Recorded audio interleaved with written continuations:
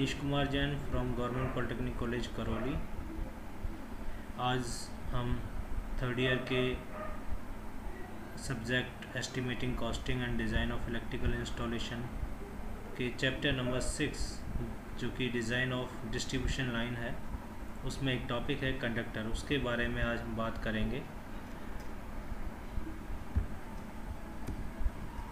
Overhead line सबसे पहली चीज़ है कि जो हम टॉपिक जो लेके चल रहे हैं वो है डिज़ाइन ऑफ़ डिस्ट्रीब्यूशन लाइन तो डिस्ट्रीब्यूशन लाइन जो है वो हम, हमारे यहाँ जो सिस्टम है डिस्ट्रीब्यूशन सिस्टम वो ओवरहेड सिस्टम है.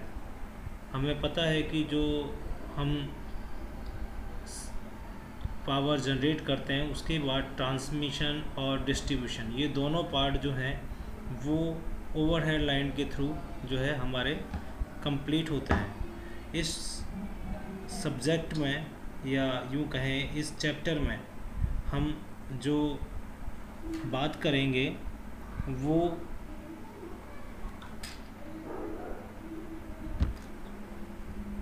वो हम L T overhead distribution line और S T overhead distribution line के बारे में बात करेंगे।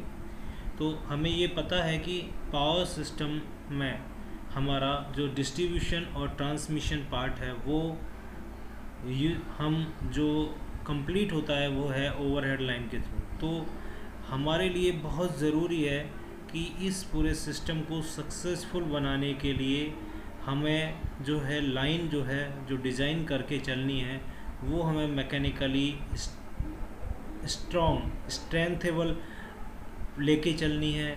उसके साथ ही जो हमें उसके लिए सपोर्टिंग इक्विपमेंट्स या सपोर्टिंग जो आपके इक्विपमेंट्स हैं, वो भी हमें स्ट्रॉन्ग लेके ही चलने पड़े पड़ेंगे। तो यहाँ जो हम बात करेंगे सबसे पहले, चूँकि इस, मैं इस वीडियो में हम कंडक्टर के बारे में बात करेंगे, फिर भी थोड़ा सा एक ओवरऑल व्यू हमें पता होना चाहिए कि हम कंडक्टर के बारे में कैसे बात करना चाह रहे हैं। तो ओवरहेड लाइन की बात करें तो एन ओवरहेड लाइन में बी यूज़ टू ट्रांसमिट और डिस्ट्रीब्यूट इलेक्ट्रिक पावर ये हम बात कर चुके हैं कि ओवरहेड लाइन जो है वो ट्रांसमिशन और डिस्ट्रीब्यूशन में अब जो है हमारा जो सिस्टम है इलेक्ट्रिकल सिस्टम उसमें ट्रांसमिशन और डिस्ट्रीब्यूशन ओवरहेड लाइन के थ्रू हो रहा है the successful operation of an overhead line depends to a great extent upon the mechanical design of the line. Line की जो है मैकेनिकल डिज़ाइन जो है वो अच्छी होनी चाहिए हमारे इस ऑपरेशन को सक्सेसफुल करने के लिए। Constructing an overhead line should be ensured that mechanical strength of the line is such so as to provide against the most probable weather condition India की जो कंडीशन है वेदर कंडीशन उसके according हमारा जो structure है, वो mechanically strength होना चाहिए। In general the main components of an overhead line are हमारे जो मेन कंपोनेंट्स हैं ओवरहेड लाइन के, उनके बारे में आप थोड़ा सा व्यू है। सबसे पहले है conductor which are which carry electric power from sending end station to receiving end station conductor जो कि हमारा मेन पार्ट है, जो इलेक्ट्रिक पावर को कैरी करता है, लेके चलता है फ्रॉम सेंडिंग एंड से रिसीविंग एंड तक। जिसके बारे में हम इस वीडियो में बात करेंगे। दूसरा है supports which may be poles और towers and keep the conductor at a suitable level above the ground तो जो सपोर्ट्स हैं, जो कि पोल्स के रूप में या टावर्स के रूप में हैं, वो कंडक्टर को एक ग्राउंड से एक प्रॉपर क्लियरेंस प्रोवाइड करा के चलते हैं। Third insulator which are attach to supports and insulate the conductors from the ground third है इंसुलेटर्स, जो कि लाइन को जो है टावर के साथ सपोर्ट प्रोवाइड कराते हैं और ग्राउंड से इंसुलेट करते हैं, सपोर्ट से इंसुलेट करते हैं, वो इंसुलेटर का काम जो है हम नेक्स्ट जो वीडियो होगा उसमें हम पढ़ेंगे। इसके अलावा cross arms which provide supports to the insulators items such as phase plates danger plates lightning arrester anti climbing wires etcetera तो ये कुछ कंपोनेंट्स हैं ओवरहेड लाइन के। नेक्स्ट है conductor materials use in a overhead line overhead line में हम क्या क्या कंडक्टर कौन कौन से कंडक्टर यूज़ करते हैं, उनके बारे में। तो सबसे पहले कंडक्टर यूज़ तो करते हैं, उसकी प्रॉपर्टी के बारे में पता कर लेंगे भाई कंडक्टर की प्रॉपर्टी क्या होनी चाहिए। तो the conductor material use for transmission and distribution of electric power should have the following property ये प्रॉपर्टियाँ उस कंडक्टर वायर में होना ज़रूरी है।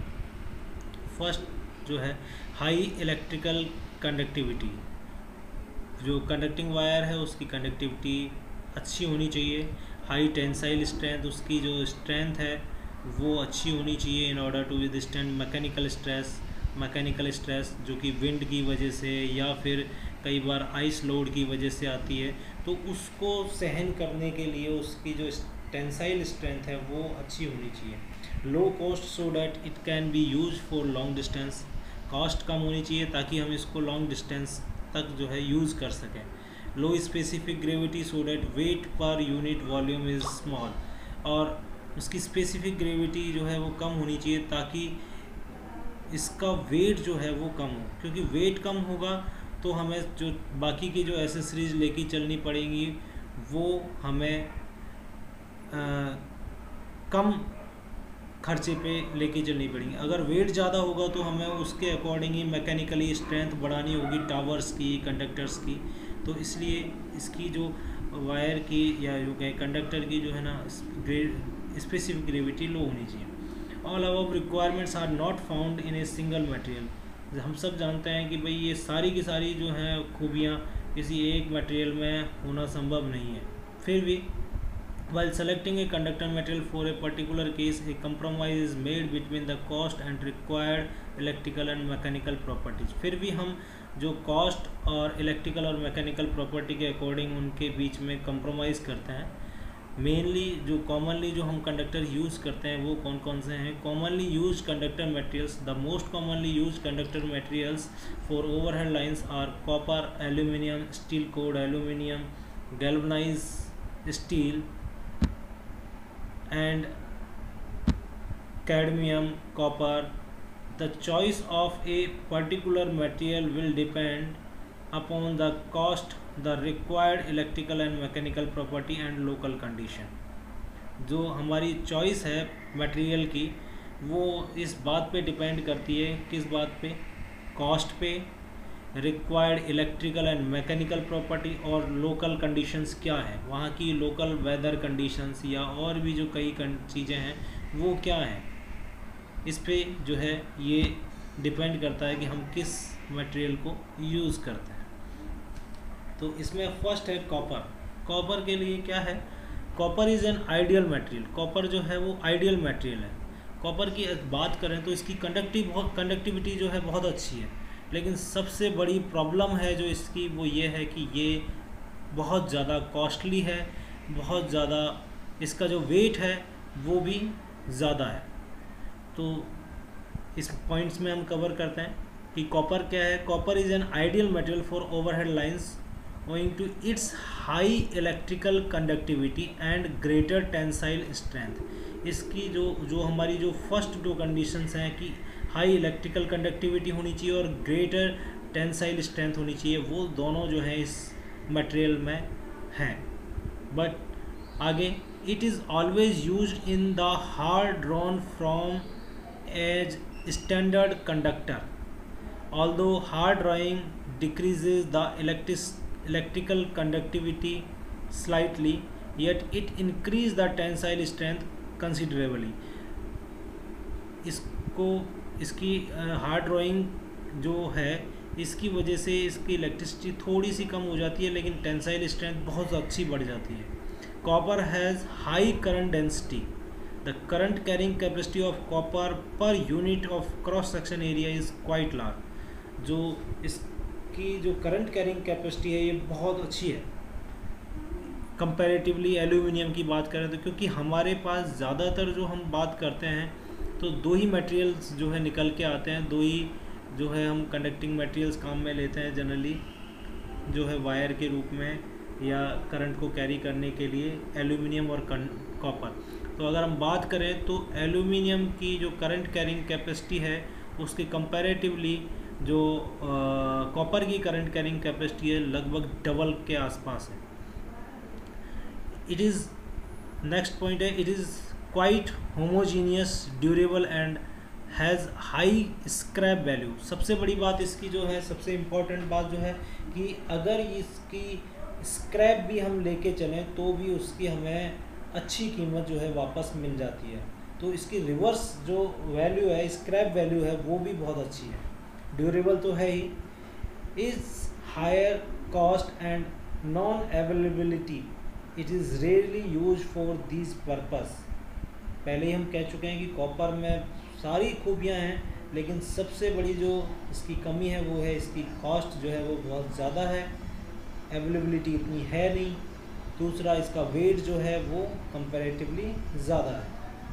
अगर हम सेम डाया का अगर एल्यूमिनियम वायर केबल लेके चलें और सेम डाया का कॉपर ले केबल लेके चलें तो लगभग कॉपर केबल जो है एल्यूमिनियम से लगभग तीन गुना भारी होगी। Now it is the trends is to use aluminium in place of copper second है aluminium aluminium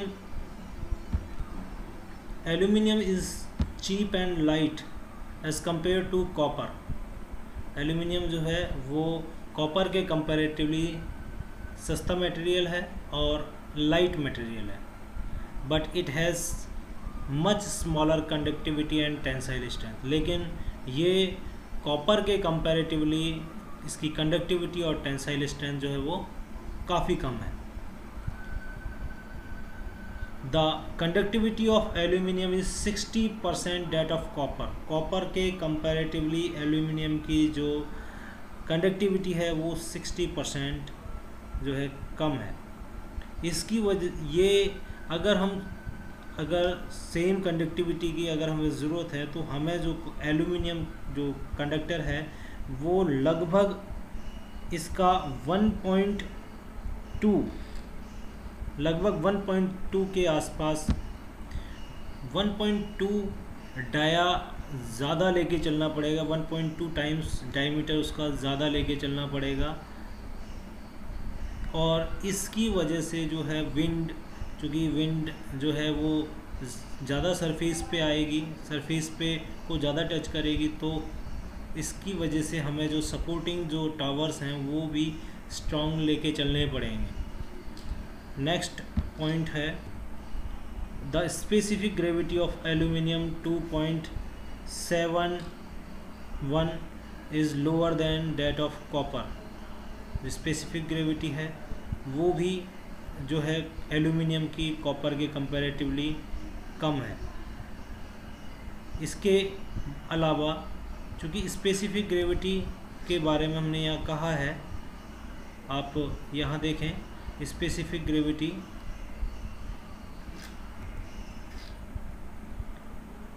weight per unit volume is small.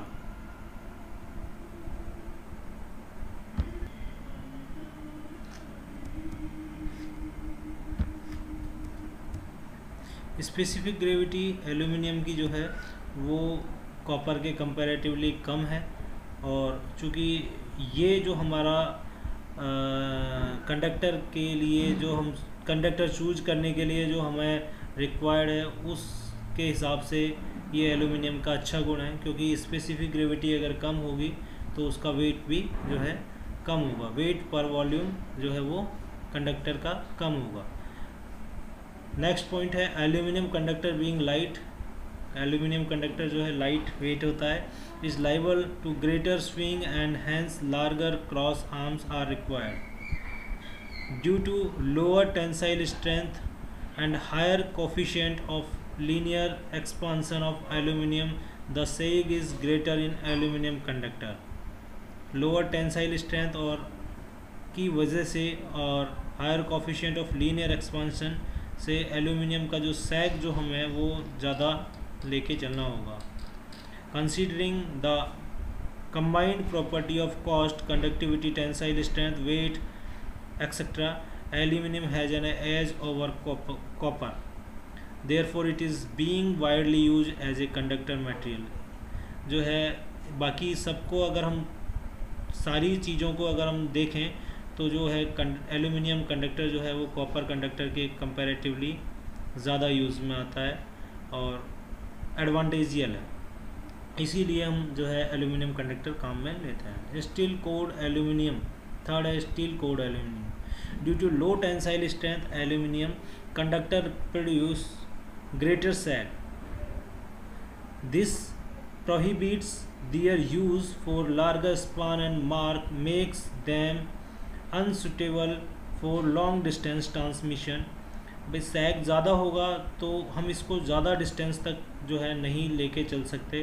तो इस चीज़ को प्रोहिबिट करने के लिए, इस चीज़ को रोकने के लिए, लार्ग, इस लार्गेस्ट स्पान को रोकने के लिए ताकि हम इसको लॉन्ग डिस्टेंस के लिए काम में ले सकें। In order to increase the tensile strength the aluminium conductor is reinforce with a core of galvanised steel wires aluminium कंडर को कंडक्टर को जो है वो रेनफोर्स किया जाता है। With a core of galvanized steel wire.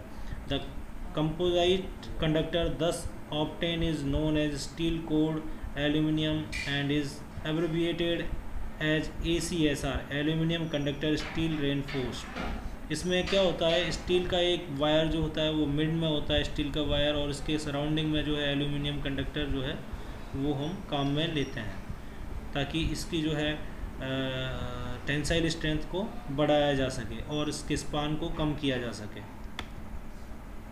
Sorry, सैग को कम किया जा सके ताकि लार्ज स्पान के लिए हम इसको काम में ले सकें। फोर्थ है galvanised steel steel has very high tensile strength steel की जो है टेंसाइल स्ट्रेंथ बहुत अच्छी होती है। Galvanised steel conductor can be use for extremely long spans और for short line sections expose to abnormally high stress due to climate climatically condition.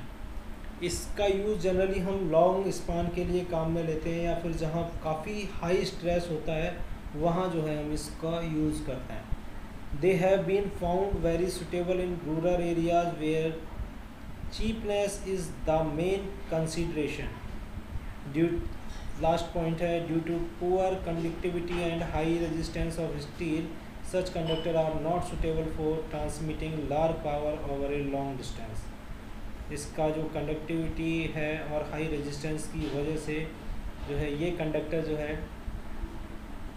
ट्रांसमि ट्रांस large power के ट्रांसमिशन के लिए ट्रांसमिशन के लिए और लॉन्ग डिस्टेंस के लिए जो है ना सुटेबल नहीं है।